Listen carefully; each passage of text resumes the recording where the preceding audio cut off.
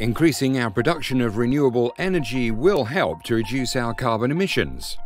But did you know that up to 10% of all energy generated is wasted before it even reaches your phone, laptop, or light bulbs? At each stage of transporting electricity, from wind farm to national grid to your house to your phone, a small amount is wasted as it heats up the transistors it travels through. Transistors are electrical switches, turning on and off thousands of times per second to convert electricity between its two fundamental forms, alternating current and direct current. If we could make these transistors more efficient, less energy would be wasted. This is what Professor Peter Gammon, an electronics engineer at the University of Warwick, is trying to achieve. Imagine a dam turning the flow of water downstream from a reservoir on and off. Peter says this is similar to a transistor turning the flow of electrical current downstream from a battery on and off. The voltage of the battery corresponds to the water pressure behind the dam. Traditionally, transistors are made from silicon.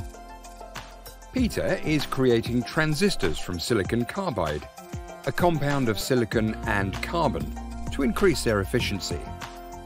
He says building a transistor out of silicon carbide rather than silicon is like building a dam out of reinforced concrete rather than regular concrete. The reinforced concrete can hold back the same water pressure, but with a thinner dam. The same goes for a silicon carbide transistor, which can withstand the same voltage as a silicon transistor, but using 10 times less semiconductor. This means the transistor has lower electrical resistance and so less energy is wasted as heat. To make his silicon carbide transistors, Peter works in a clean room to ensure all the electronics remain spotless. He creates the transistors by growing layers of silicon carbide on very thin silicon carbide wafers before oxidizing these surfaces, depositing metals on them, and etching trenches in them his transistor chips are cut up and individually packaged, ready to sell to manufacturers for use in electronic devices. By replacing the silicon transistors in electric cars with silicon carbide, cars could travel further before they need recharging, or the number of batteries could be reduced.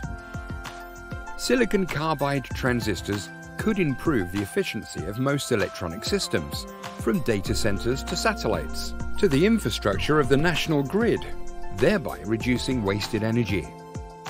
Electronics engineers will be at the forefront of designing the technology required to reduce our carbon emissions.